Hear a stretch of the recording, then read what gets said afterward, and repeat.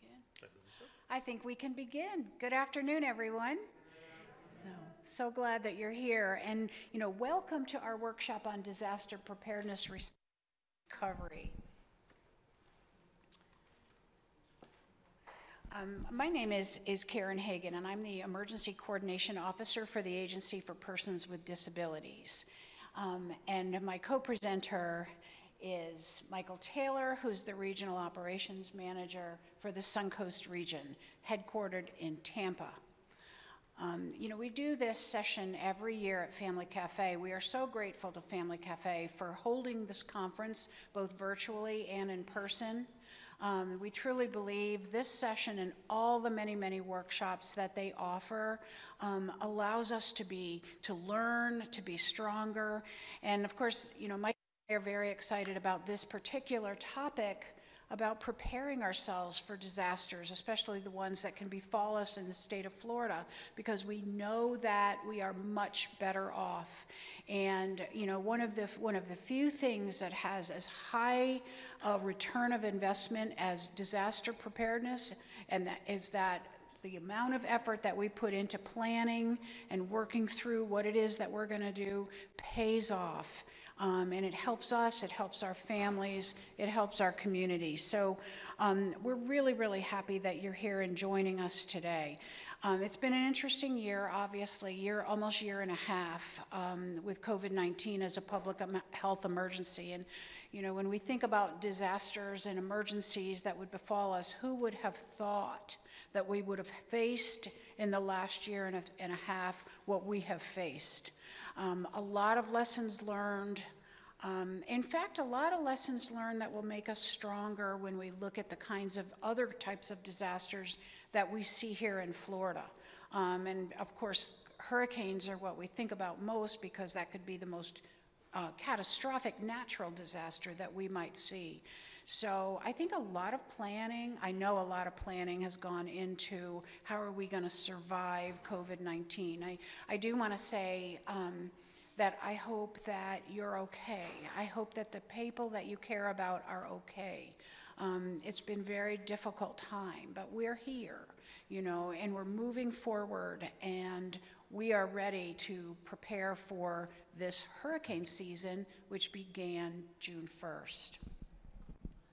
So I'm going to turn it over to Michael. He and I are going to go back and forth um, to do, in this session, and we're going to perhaps, you know, talk back and forth, add some things.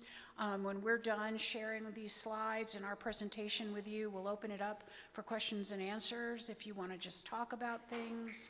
Um, but make this personal to you. Think about you, your family, those you care for, those you care about. Where are you in your preparedness? Um, where are you in your community? So make this real for you. You'll get more out of it if you do. So I'm going to turn it to Michael to carry on. Good afternoon, everyone. Thank you for joining us so late on a, on a Friday. We certainly appreciate it, and it's uh, truly wonderful to be back um, in person. Um, uh, we all certainly uh, needed this break, and to get to spend some time with all of you is, is truly a, wonderful. Um, so, disasters, one thing to think about is that they're equal opportunity, they, they impact everyone.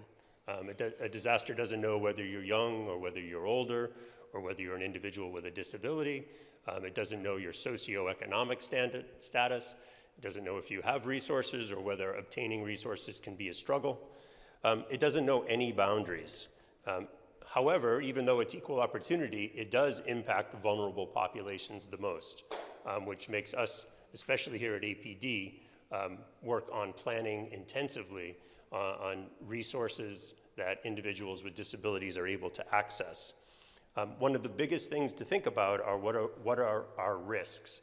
As Karen pointed out, clearly in Florida, we think a lot about hurricanes and weather events, and now we all have pandemic first and foremost in our mind.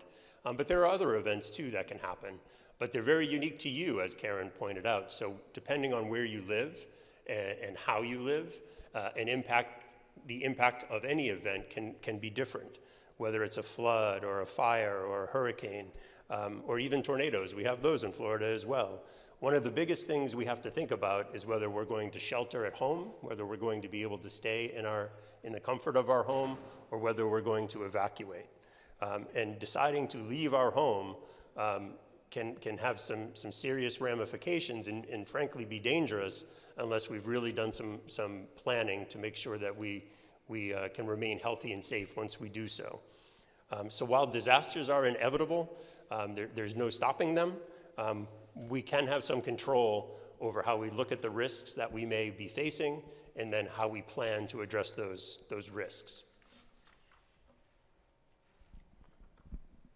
Thank you.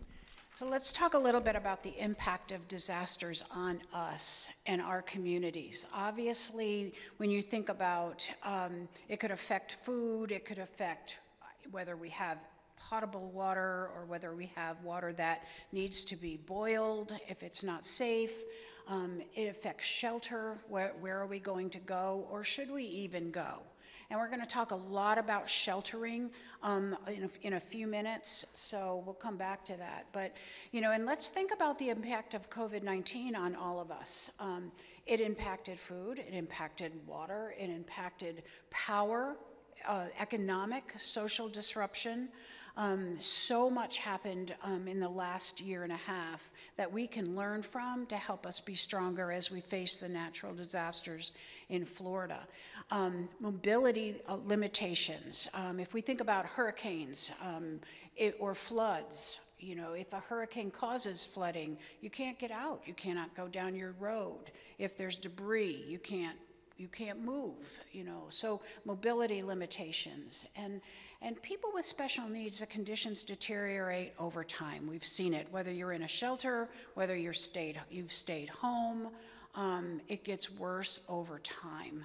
Um, and we're not even talking about the emotional um, and significant impact it has on us as we try to get through whatever emergency is that's befallen us. Um, you know, so some of the things that we need when we think about if you've got pets, if you've got um, you know, special uh, animals that take care of you. Um, we need to plan for them. So w- when you think about all of the things on this slide, these are all the things we need to plan for.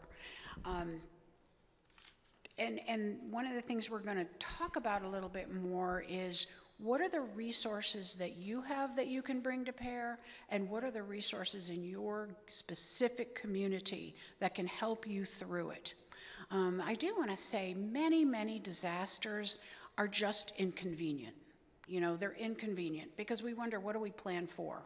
You know, if we plan for the most major of disasters, let's say a hurricane in Florida, all the other ones, we should be able to have a plan that will get us through it. Now, who would have known a public health emergency would have thrown a wrench into all of the planning that any of us have done? Um, but it did, and but we got through it. We are sitting here, um, and I, you know, I've been doing work in this disaster world for many, many years, many decades actually. Um, and I, I see people, they, they're in shock at what happens, but they step up to the plate and they move on and they move forward. But you know, we don't do it alone, we do it together. And we're going to talk a lot about the disaster cycle getting into this, but um, one of the things disasters do, it brings out the best and the worst in all of us. Um, but ultimately, I think it brings out the best.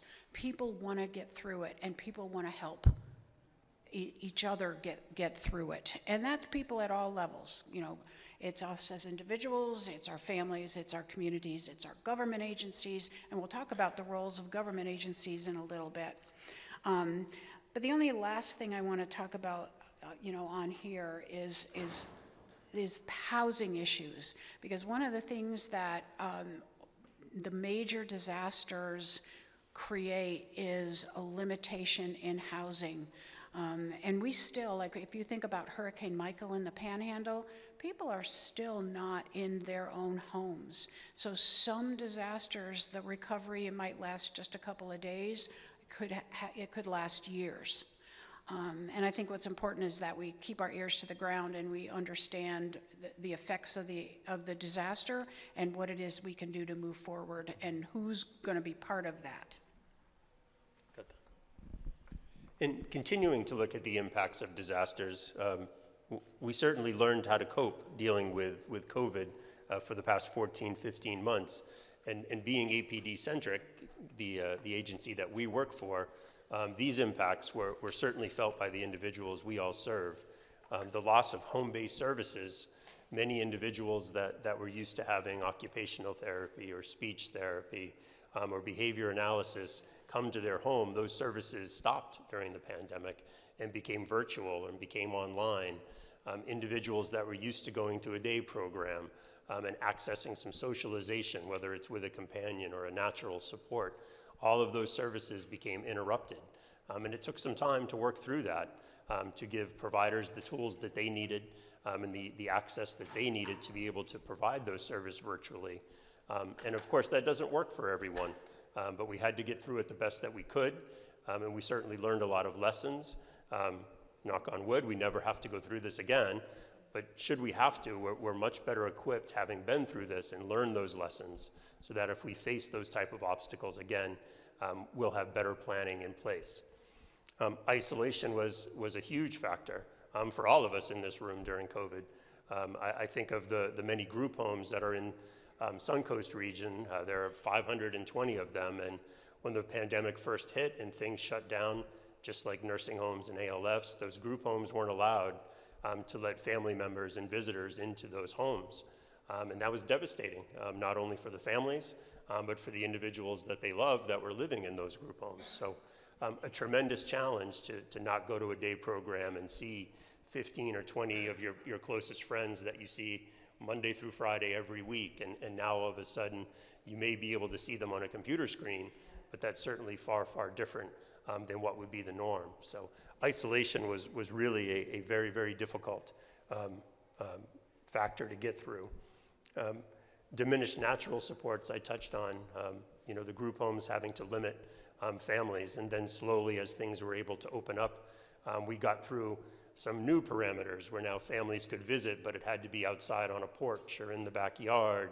There, there had to be steps along the way um, until we were finally able to get to a place where where residents could go home with families for, for extended weekends and outings and, and get back to that sense of normalcy. Um, interruption of medical care. Um, a lot of non essential medical services ceased um, for months on end, where unless it was urgent and, and an emergency situation, um, routine medical care also went online, where medication management happened and they took care of routine issues. Um, but getting in to see physicians became much more challenging. And then confusion is probably the biggest one.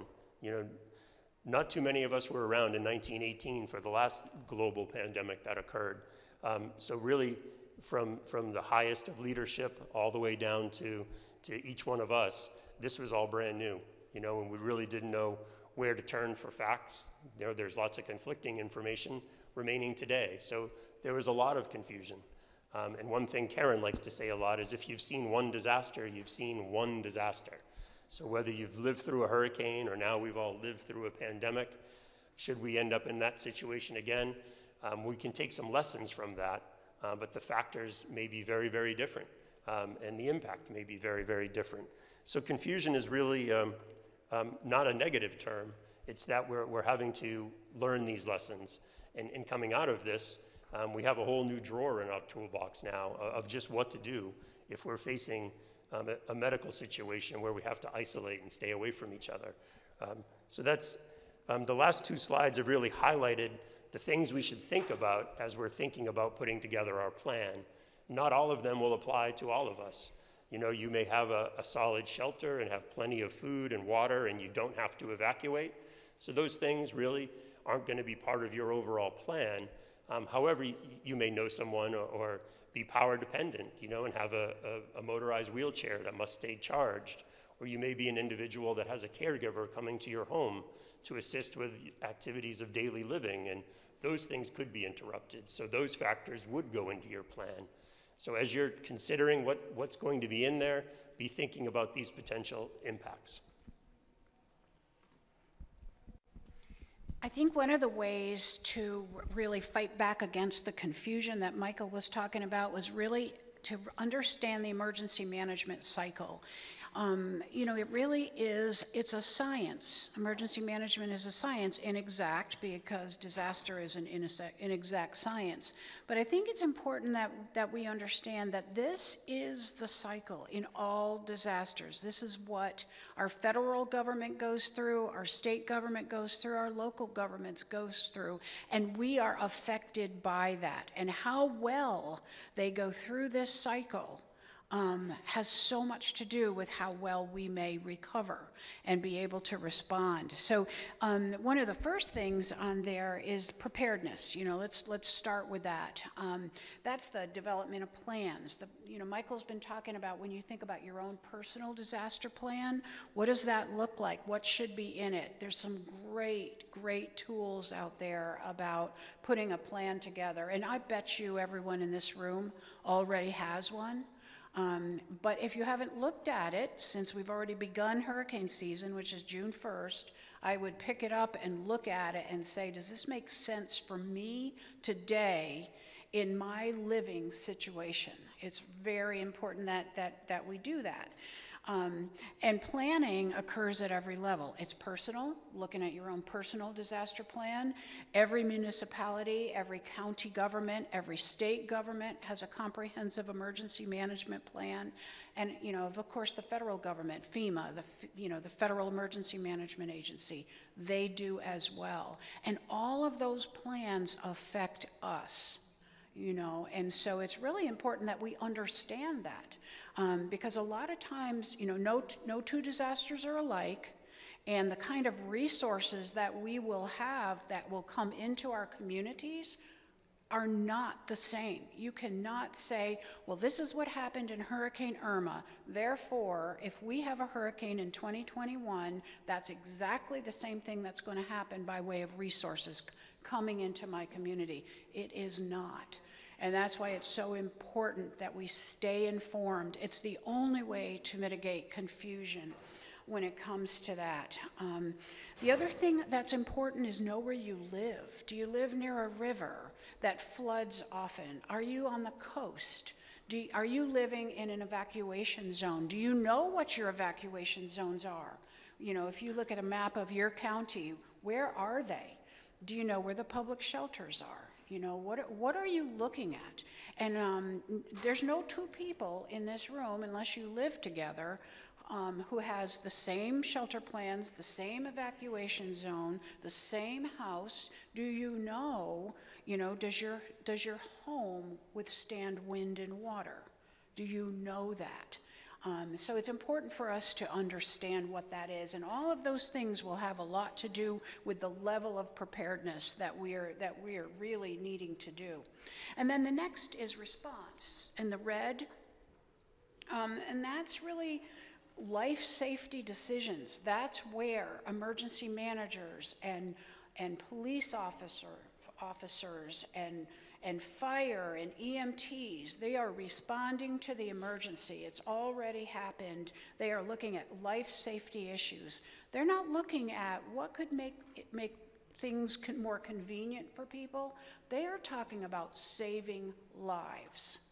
And, and I think that's important that we all remember that, because that is the number one thing that they need to do in response. Um, it's looking at sheltering and food. You know, if you think of Maslow's hierarchy of needs triangle, that bottom rung, that's shelter, a roof over your head, food, water, safety issues. And that's during response in an emergency, that's what they're looking at.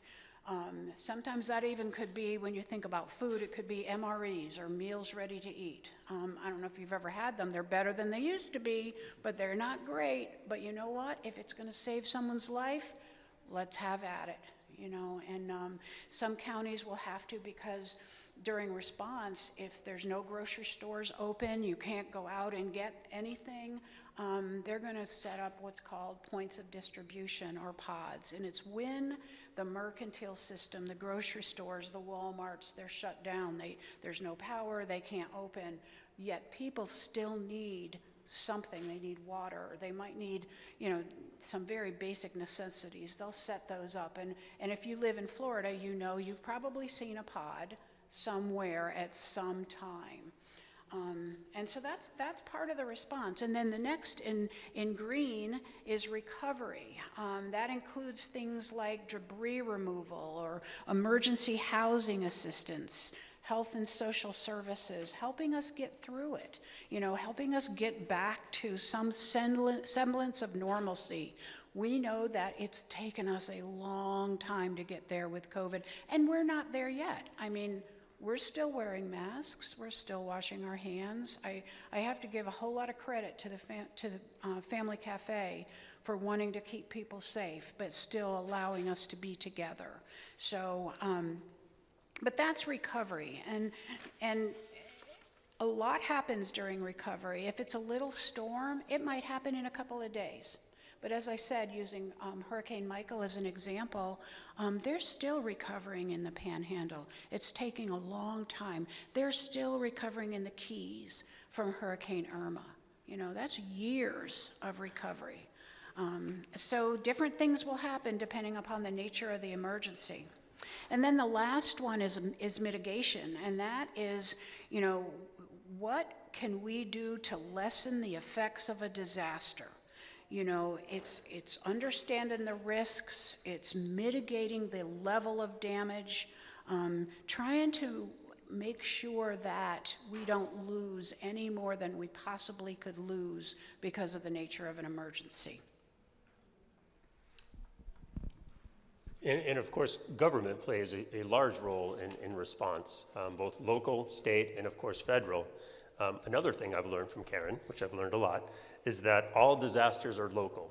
And that means that having a relationship with emergency management in the county in which you live is very unique because of the 67 counties that we have in Florida, each one of them has an emergency management office, and each of the conditions and the resources and the capabilities of those um, counties are different.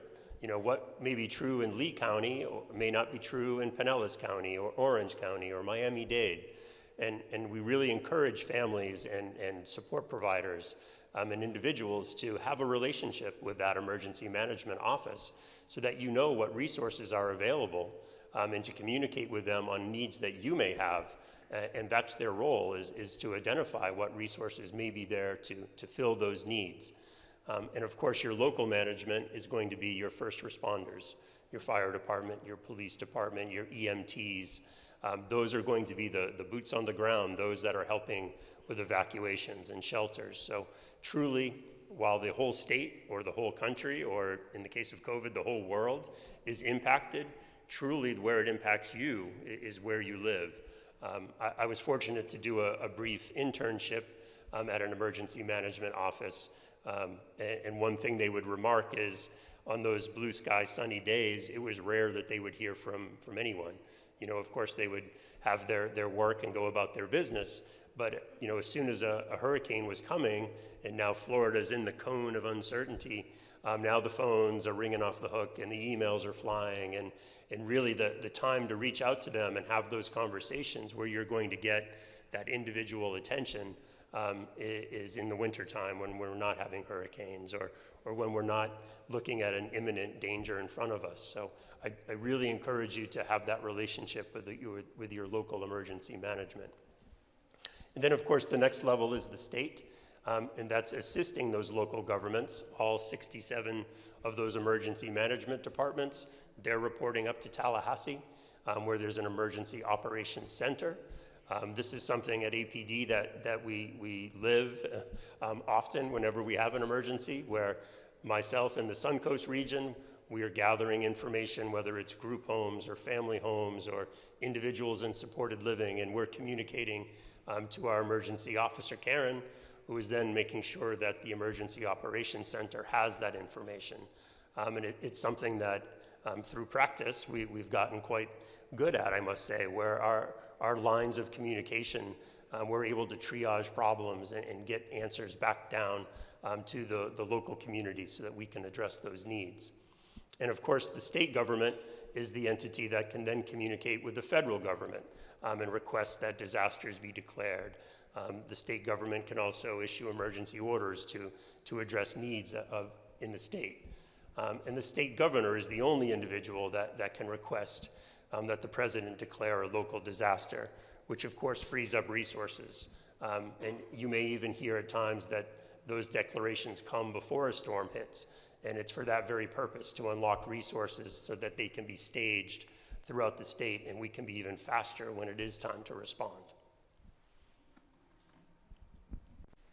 So let's break down preparedness real quickly. This is what this means to be prepared. It starts with getting a plan, and those are just a couple of links, you know, floridadisaster.org, Red Cross has a plan, there's fill in the blank plans. We have a fill in the blank personal disaster plan on our APD Cares website. Um, if you haven't put one together, look at it. You just have to, it'll ask you questions and prompt you, and it'll make you think, you know, oh my gosh, I didn't even think about that. But fill it in and then just post it on your refrigerator during hurricane season. Um, the other part of preparedness, get your supplies together. Michael's going to talk to you about what should be in your disaster supply kit, and that information is out there. It's all over the place. Just grab it, put it together. And if you have one and you haven't looked at it for a year, go in there and see what it's, what's expired and replace it. Um, with something else. And, you know, Michael was talking about knowing your community resources, and every community is different. Every, every community's resources are different. We're going to talk about shelters in a minute. Some computers, uh, com- some communities, excuse me, have one shelter because they're a coastal community and they don't have any buildings that will withstand wind and water. Some have 150 shelters you know so all all communities are different and i will tell you depending on what county you you live in go online and say emergency you know lee county emergency management orange county emergency management and look at their websites they're really good. I would say all 67 counties in Florida, they all have an emergency management website, and they will tell you, they will give you information about what those community resources are. Um, and I'm going to say it first here, and we're going to say it again. Um, it's also where you'll register for a special needs shelter if that is one of your options. Um, and I, you know, communicate your plan to family and caregivers. You're, you know, if you if you have developed that plan, don't just you be the only person that knows what's in there. You know, let the people that you care about know what, what is in there. If, if something that's in there is, a, is an expectation that someone's going to do something for you, say, you know, my neighbor's going to pick me up and bring me to a hotel, or um, make sure they know that. A lot of times we put plans together and we never inform the people that are in those plans about what we're expecting of them. If you have a caregiver or if you are a caregiver, make sure that. Um, that you have talked to each other about what is in those plans and what your availability is. You know, often, and we've seen this in many a hurricane event, um, some of our uh, consumers, they expected their caregiver to be available, yet their caregiver lost their home. Um, it's a sad situation, and that's why Plan B and Plan C are so important. It can't just be one option. It's like in the world of options, what are all the things that I might be able to do?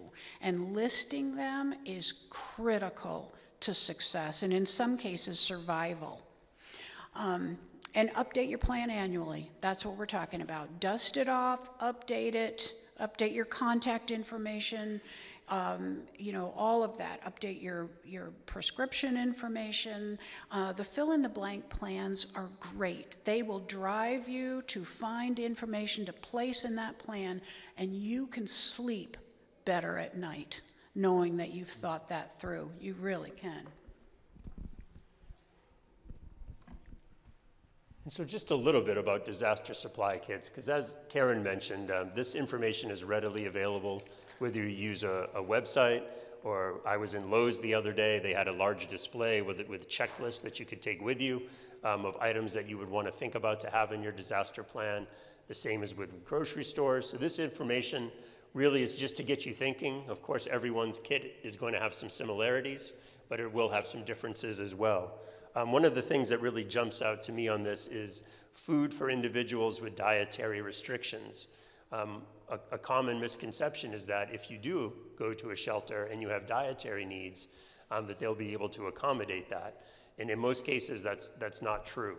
Um, they, you know, they're going to have food and water, but if you have specific dietary needs, that's something that you would have to address yourself. Um, so that's something that, that jumps out that folks don't always think about. Snack foods, if you have teenagers like me, you know they've eaten them all um, by the time September or October rolls around. So you do have to revisit those and make sure that you have ample supplies. Um, the rest is, is pretty common of things that you expect to see.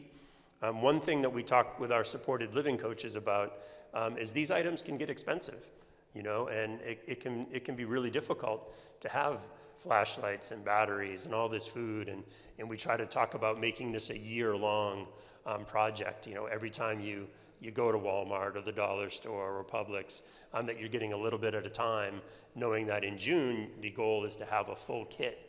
Um, the other thing we, we talk about is sometimes combining resources. Um, there may be an individual that's willing to be a host home, and so other individuals that you know or you serve uh, may be able to go to that home and they can share resources instead of everyone buying all of the individual items. That's something that they can, can plan for together and, and save themselves some, some funding to, to handle things little by little.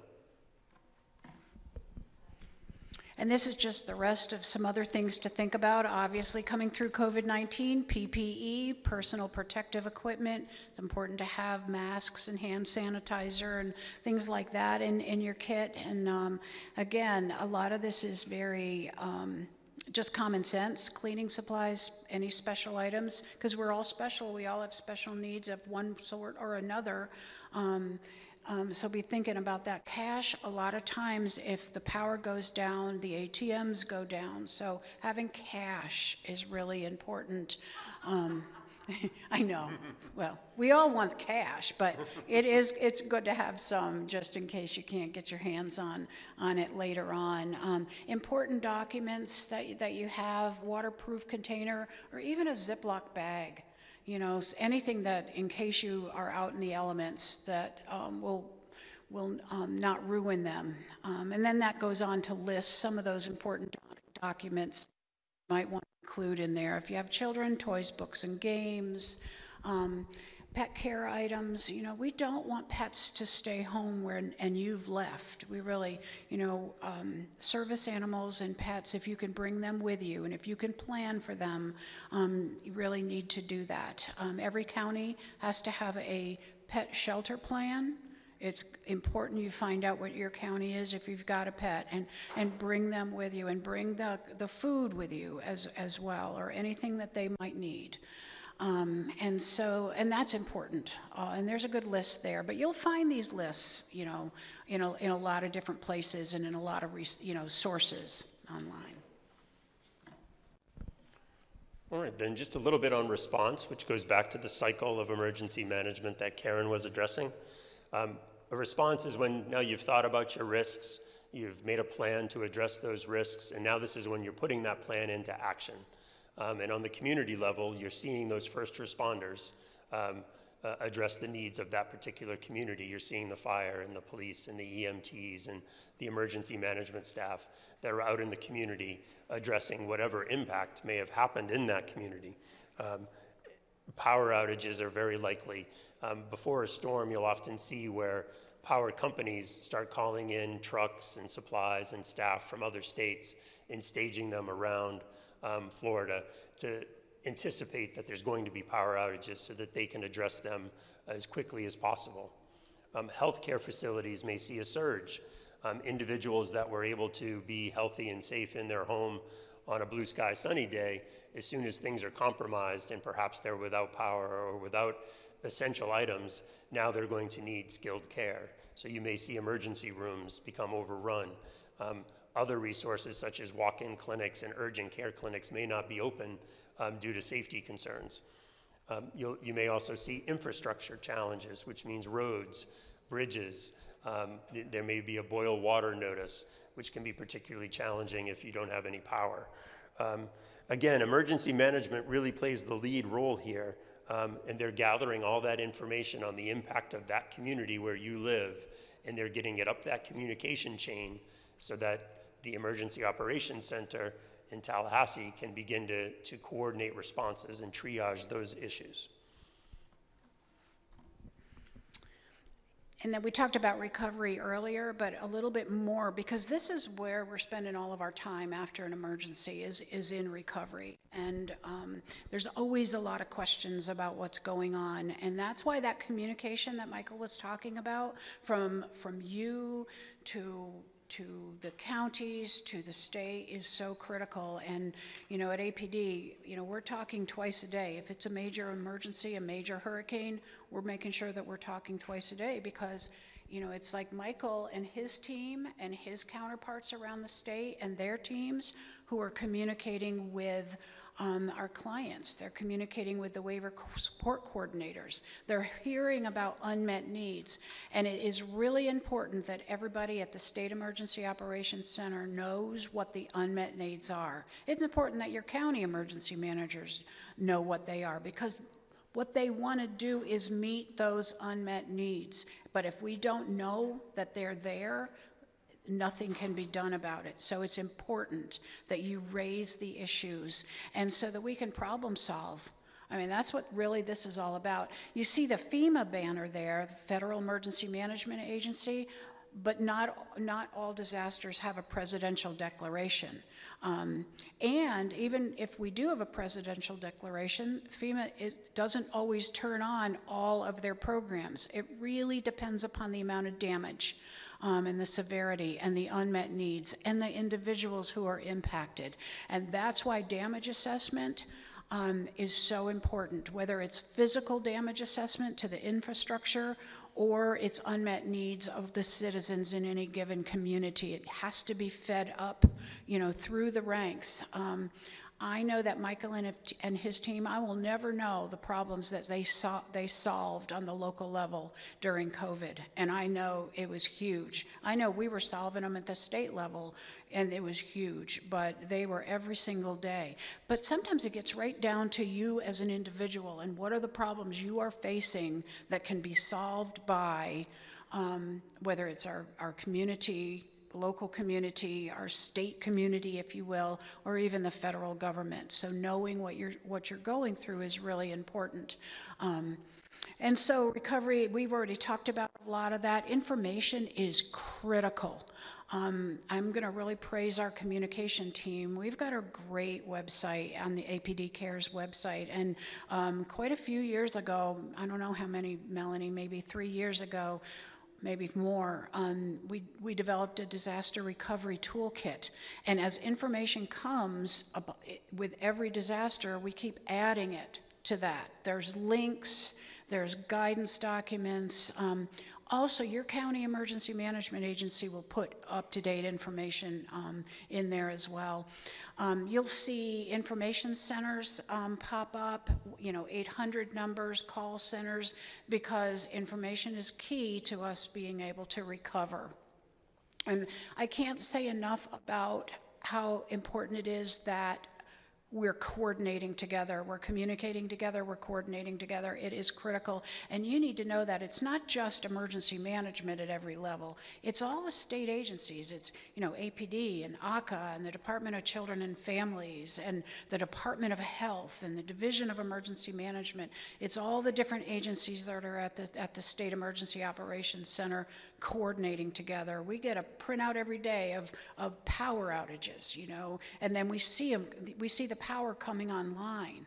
Um, and if any of you have gone through power outage, you know that over time it is it is just awful, and you know that you just want to see the light at the end of that tunnel, and you want to know that it's going to come on. And um, so there's really there's a sense of urgency throughout this. Um, but we will spend most of our time, all of us, in recovery after a major, after a major event. And then the fourth part of the emergency management cycle is mitigation. And really, what mitigation means is that we recognize that we, we can't prevent all disasters. Um, we can't stop that hurricane from coming. But what we can do are take measures ourselves to limit how that hurricane will impact us. Um, it, it, can happen on an individual level, again, to return to, to folks that are in, in supported living or even individuals moving into a group home.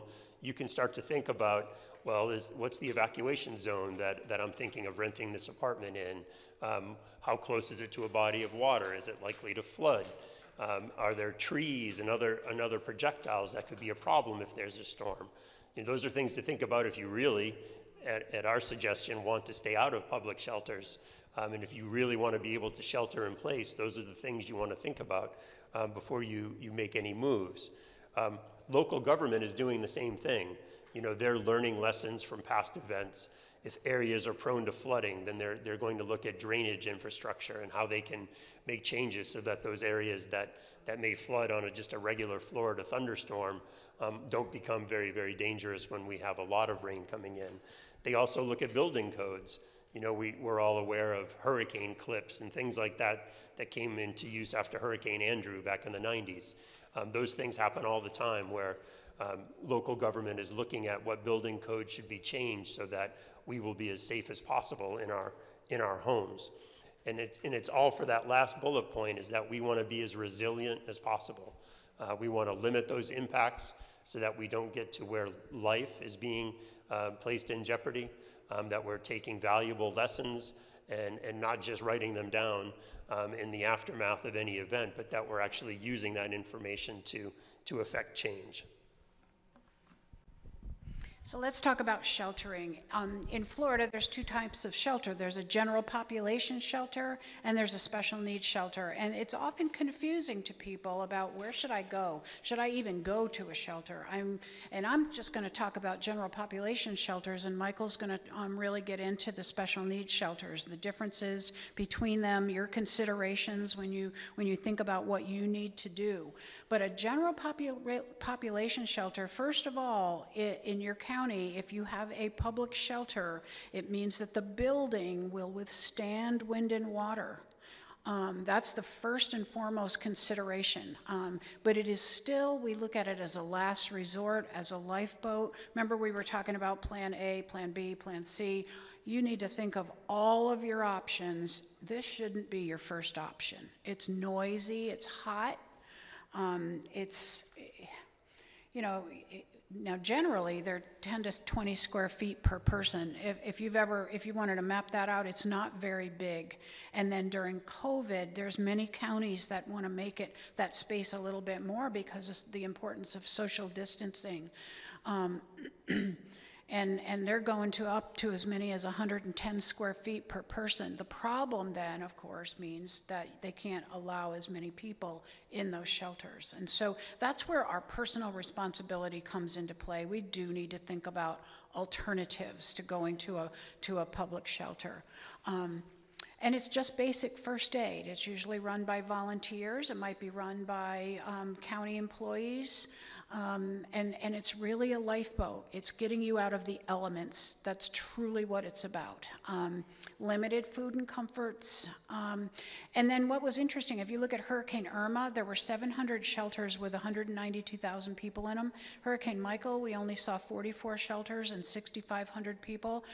But Hurricane Michael was much more devastating in, you know, in the panhandle than a lot of areas that were affected in, than in Hurricane Irma. So it's not really, there was, but it was so much more widespread, which is why there were so many more people in the, in those shelters. Um, and so then what's, what's on the bottom, what that link is, it's www.floridadisaster.org, and that's where you can plan and prepare, and it's got a shelter, a lot of information on sheltering. Sometimes counties will not publicize their general population shelters until an event occurs. Um, they may want to, not, some counties will open them all at the same time. Some will want to open them only one at a time.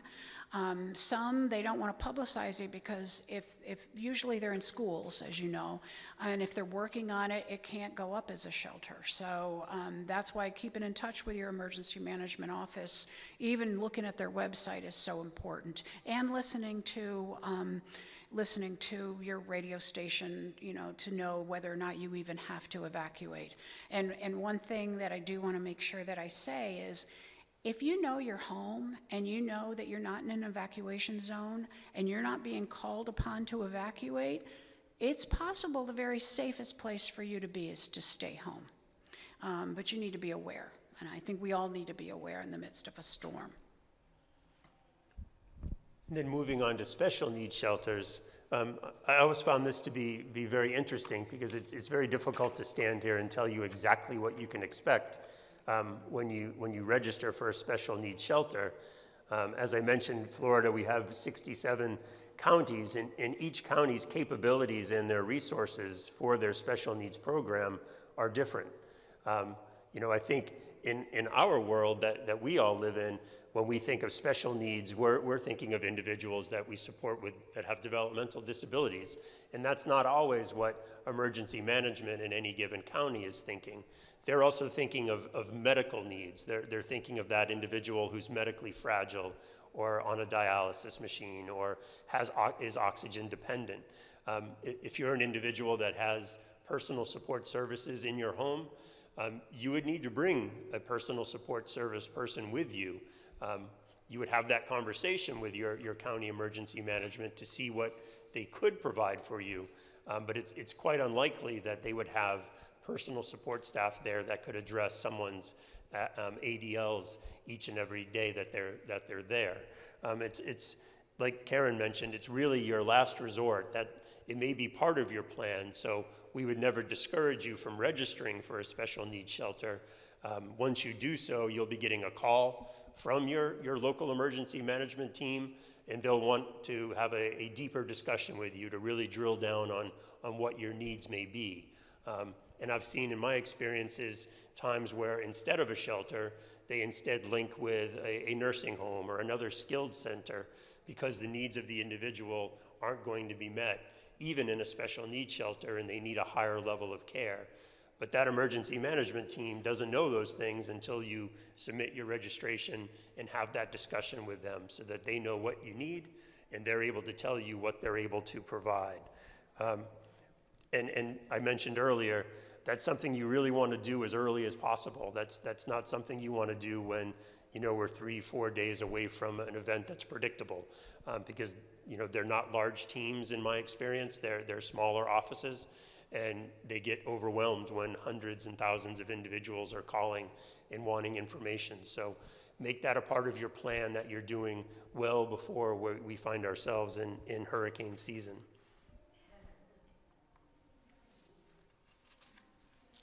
And the other, the other thing that I think is important, people think that if they register once for a special needs mm-hmm. shelter, they don't have to register again every year, and that's not true. You need to fill out that registration form every single year. And by the way, that shelter registry is a statewide shelter registry. You can get to it from the State Emergency Management website, from the Department of Health website, because Department of Health is really responsible for special needs shelters. And you can get to it from your county emergency management website. It's the same registry. And I think that's important. So if you have not registered, please do that. Yes, Well, you can't, um, in Alachua County, you can't register unless you have, um, a certain level, like you can't live in a family home, you can't, you have to have certain, so it can't be statewide, right? Um, The question is, in, in, in the county she's talking about, that there's certain um, situations that would not allow someone to be able to go to a special needs shelter. Um, And every county is a little bit different. So the registry is statewide, but the county capacity is different. And let's take questions in just a few minutes. We'll get through these, and then we'll, we'll talk about that a little bit more, because I think it's an important question. Her point is well taken, though. Every county's capacity is a little bit different, so registering is critical, whether or not you can get there or not. And that's also why you want to have Plan B, C, and D and alternatives. Um, and these are some other alternatives. When you're not in an, in, evacuation zone, you might be able to stay home. Um, know your zone, know your home, what, how strong your home is. Um, you know, our group homes, our APD licensed group homes, they use a host home approach. We've seen some wonderful successes where they will already communicate with an, say it's a, a coastal group home. They'll communicate with a group home that's inland, that's safer, and they know that that's the plan. They will, if they have to evacuate that group home, they will go into the host home. Um, and we've seen a lot of great examples of combining resources, um, sharing staff, Um, but it's those conversations, it's those conversations that are so important that literally can save lives, you know. So I, I would just encourage you to have them, whether it's personal or whether we're talking about um, a group living situation. Then a little bit about evacuation. Um, I think if we just think back in recent history with, with Irma and with Michael in, in 2018, um, we saw pretty much an evacuation nightmare where thousands of people decided to, um, that their new plan was to hit the road and, and get out of Dodge. Uh, but it, it created uh, massive traffic jams where individuals would say it took them 14 hours to go from Orlando to Jacksonville, you know, on their way to evacuate to Savannah. And, and just on a personal level, I would always wonder just exactly how they decided that that was the best place to evacuate to. Um, you know, Florida is only about 160 miles wide in most spots, and then, you know, 350 or so when you go across the panhandle. Some of those storms, we see them on radar, you know, they're huge. So I don't, I, I don't always know the wisdom of, of saying, well, I'm out of here and I'm going to jump in my car and just hope for the best. Um, you know, we saw a lot of, of problems with gas stations where individuals were worried about running out, so they were stopping every, every chance that they got. And of course, that creates a, a gas shortage.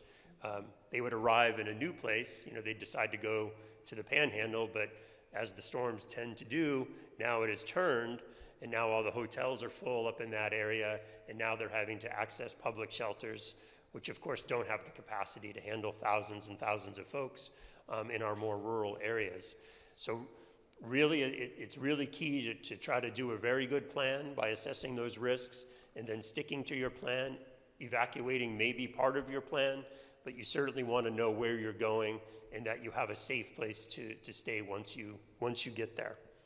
Um, having no plan is, is, is the most dangerous of all. We thought it was important that you understand the role that we play because, uh, and we could put any of the state agencies' roles in there. You know, our commitment are to the people that we serve and those who serve them. Um, and we do have a comprehensive emergency management plan. It talks about how we're going to do business, what's essential, because we have some very essential services that we provide that have to continue for, the, for our consumers. Um, and it, it, identifies our plan. We think about if our, our headquarters, whether it's a regional office, whether it's a state office, if it was affected, where are we going to work so we can continue to serve um, our consumers? Um, we, we have someone, a designated rep at the State Emergency Operations Center. Remember getting back to how important it is that we keep, we keep talking with our staff and, and with our um, providers. Um, and that we communicate essential information to, to the folks. Um, getting back to the, the need for up to date information, we push it out on the website, we hold conference calls. Um, and we, we solve problems onesie twosies, one on one, or we'll solve statewide problems, but we can't do it alone. We do it together um, with the partners at the state EOC. Um, and we work with our partner ag agencies, the ARCs, the, you know, FARF, the, you know, Developmental Disability Council, the Centers for Independent Living, you know, all of the folks, they're all there working together to try to solve the problems so that we can help our folks recover. Um, and we problem solve through that entire disaster cycle. We're still problem solving from COVID, you know, every single day. So um, it's, it's just good. I'm glad that we can do that, and we're going to continue to do that. In, in order to problem solve, we really need good information. Um, speaking a little bit about Suncoast region, um, all, and all of the licensed homes, really for that matter, for APD, they all are required to do a comprehensive emergency management plan, and we have group home monitors and licensing staff that provide technical assistance and then ultimately review that plan before that home is relicensed for another year. Um, and then shifting to supported living, in Suncoast, we ask all of the supported living providers to send us two lists every May and June. So we're, we're right in the middle or nearing the end of that now. The first list is a listing of their management and all of their employees, um, how many individuals they serve, and in what counties. And then the second list they send us are a list of the individuals that they serve. Um, very basic demographic information, a little bit about their plan, shelter in place, evacuate, um, host home, something simple like that, um, so that we have some semblance uh, of everyone in supported living that, that has thought this through and has a plan. And we also require um, waiver support coordinators to have those discussions with individuals that live in the family home or individuals that are in independent living. That's they're living in their own home in the community without the assistance of a supported living coach. Um, and the reason that we do this is really so that we have sufficient information so that when an event hits in the Emergency Operations Center and Karen and her team start asking questions, we can get them the data that they need so that we can solve the problem. Um, just recently, um, some of you may have heard of the issues in Piney Point, um, which was that wastewater um, that was being stored um, over in Manatee, Sarasota area. And when that leak first hit the news, they were saying it could be an 18 foot wall of wastewater that was going to flood a certain section of, of that county. So no longer had I seen that on the TV when the phone rang, and I knew what the question was going to be. How many group homes do you have in that zone that could be flooded, and how many individuals in supported living? And if we didn't have these emergency planning exercises that we do with the providers, I wouldn't be able to provide that answer. I wouldn't know the risk and would have no chance of, of addressing the impact until well after it's occurred. Um, thankfully, none of that happened, um, but it just shows the, the true importance of gathering that information so that we can have effective communication um, with our leads in Tallahassee, and then they can get us um, the resources that we need to address them. Um, and it's, it's something that, that works very, very well, and it's behind the scenes. It's not something you're going to see on the news or in the newspaper, um, but it's something that, that's very, very effective. So real quick, um, these are just some resources for response and recovery that's important for you to know about. And you know, we're talking about the Agency for Persons with Disabilities, but I will tell you, every state agencies are, are talking about these kinds of planning for the people that they serve. Um, so there's a lot going on behind the scenes. Um, and so these are just some of the resources and some of the um, websites that, that we have. And we're going to continue to communicate out, Uh, you know, um, important information. And this is just, uh, you can't read it probably from the back, but these are just two screenshots of our, the toolkit I was talking about. You know, like, for example, on the right-hand side, Gas Buddy. You know, when we were, when we didn't have gas, remember when that thing that just happened? Um, I forgot, you know, and all of a sudden people are worried that they're not gonna be able to get gas. Well, Gas Buddy was a great link, so Melanie and her team and John, they put it up. You know, and, and every single major emergency we see in the state, we are adding to this website so that people can have up-to-date information. It is really what is gonna help us through. And I know we're right at the end here because we're right up against five o'clock. And this is a bit of a summary slide, which really just drives home the point of being disaster ready and, and taking away those three important themes that no one size fits all. If you've seen one disaster, you've seen one disaster. They're all unique. The conditions that we all have when we're affected by a, a disaster are unique. Um, that we know our counties. Um, I couldn't stress that more. That um, wherever you live, you want to become familiar with who your emergency managers are and just what their resources and capabilities are. And then taking an all hazards approach. Um, another good thing you can do with a lot of counties is sign up for their alerts. Um, and you, you'll get text messages or emails when they have something that's going on. And it could just be that there's a mainline water break, um, something minor like that, um, or of course larger scale issues. But they have good lines of communication set up that, that you can access. Um, we covered resources extensively from everything from to-go kits um, to the role that, that local, state, and, and federal government plays. Um, and then there's some good information on the website, as Karen pointed out. There's a template for our group homes to use for their emergency plans, um, as well as APD personal disaster plans if you wish to, to access them. And so go back and look at your plan. It's a living document, ever changing. When, when your situations change, it needs to, you know, change in your plan. Um, Make sure if there's a role that some of the people are playing that you've listed in your plan, make sure they know about that role and make sure you communicate that um, and practice it. Sometimes if you think about, if something happens in another state, in Louisiana, there's a hurricane, say, what would happen if that happened to me in my community? What would I be doing? It's a great way to kind of think through how your plan works. Right, then lastly, you know, we covered a lot. We only had an hour to speak. We could certainly go on. Um, But the takeaways really are to assess your risks, um, plan to- on how you're going to address those risks, and what resources will you need in order to put that plan into action. Um, Disasters are going to happen, um, but what we have control over is how we plan and how we communicate um, before, during, and after an event um, so that we can mitigate the impact on, on ourselves and those we care for. So thank you very much for your time. You. Yes. Hi, my name is Kat Sullivan, and I'm a registered nurse administrator of a pediatric home health agency. And we came here today to the Family Cafe to obviously enjoy the learning, but also to make you aware of an emergency um, for our kids. Especially shelters will not accept a patient that requires a hospital bed or that is ventilator dependent. Hospitals Let me take it too. We'll play Phil Donahue. I wrote it down. Hi. so, my name is Kat Sullivan. I'm a pediatric registered nurse administrator, and we take care of medically fragile kids in Florida. Um, we have been trying to plan for this year's hurricane for them, but have been unable to successfully complete their plan because special needs shelters in Florida will not accept a patient that requires a hospital bed or that is ventilator dependent.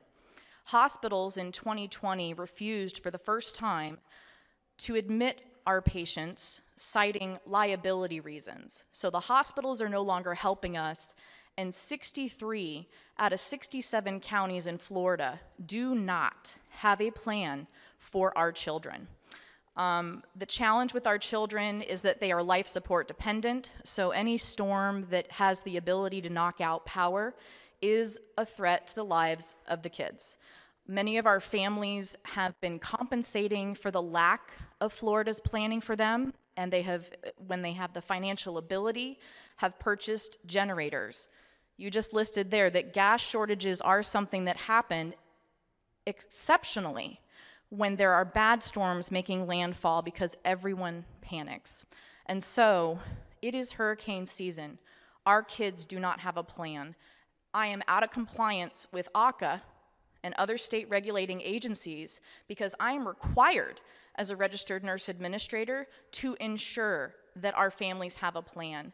And so I'm here today because 32 families in Central Florida have no plan, and there are tens of thousands of these kids. It is very dangerous. Um, we've been speaking with the Medical Coalition, um, and their response is that the counties have refused to adopt a plan that they have created. The Medical Coalition is a federally funded organization that every state is required to have. And I've been having discussions with their executive director. There's no, there's no back and forth. Counties are refusing, hospitals are refusing. I'd love to have a conversation with you. Thank you. Thank you. Thank you. Don't go away so we can get your information later, you know, so we can, well, you know, it's funny, earlier this, earlier this week, I know that we're not taping anymore, but earlier this week, we did meet with the Department of Health, you know, and we were kind of just talking about a lot of the things Michael and I were, were talking about and how important it is that we do problem solve. And it is a county by county capacity issue um, statewide. So these are the kind of things we need to keep working on. So thank you so much for, for bringing that to, to the attention of everyone. Absolutely. So I still don't understand, you said to register with the state, but if the county doesn't let you in for whatever reason, It's the same registry, all right? It's a statewide special needs registry. You can get in through your county website or the state website, but it's the same website. It's, a st- it's, and so you need to just go in and fill out your information. But So. then will they, after she does that and they have a conversation with her, is it possible that they will allow it? You know, It is possible, and, but it depends on the resources of that particular county. That, that's the difference. Some counties have transportation resources, some counties do not.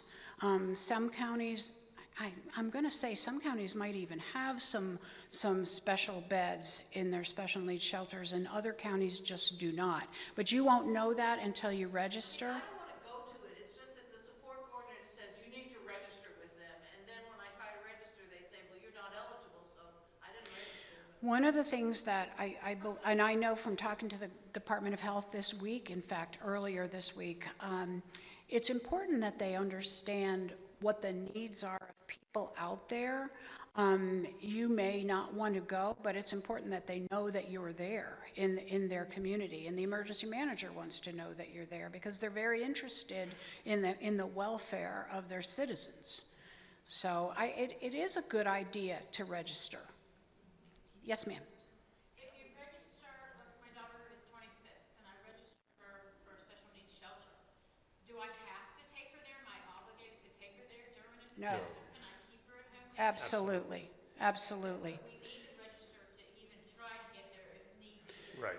Yeah, I mean, I've seen people try to register last minute, and it can be done, but boy, it's a whole lot easier for the team in your county, like the health department and the emergency managers to plan if you register in advance. But no, it doesn't obligate you to, to go.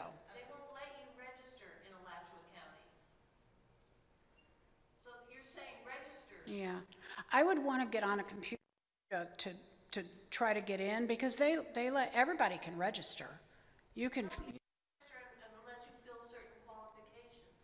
So that is the county by county decision about what they can accommodate in, an- in the shelter. They're, right. Yep. to, I think if you can, if you can register, um, you should. but if you can't register, but if you go to the state, you can register with the state. It's the same registry. They're linked together. Maybe you can. Now, now, Ala- Alachua may, you know, and I'm not familiar with Alachua County, but they may have a, a limited number of beds available in a special needs shelter.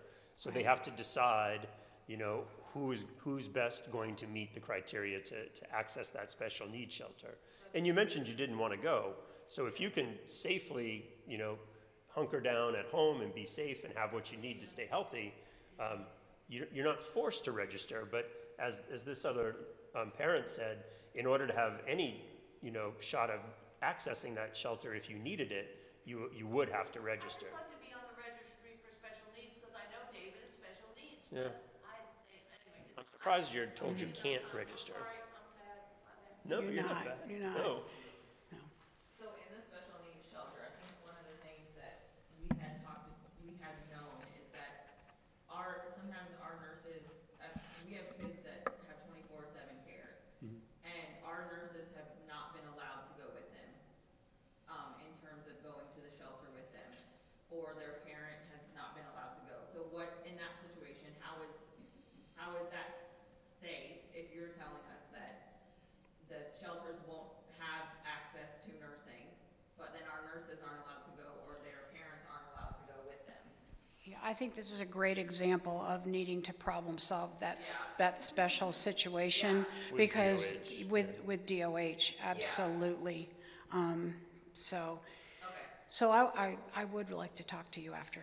If that would be okay, so. But we are in it together, and it is a lot of, it's a lot of trying to find solutions to everybody's individual problems. So, thank you for that. Thank you. Okay, thank you, guys.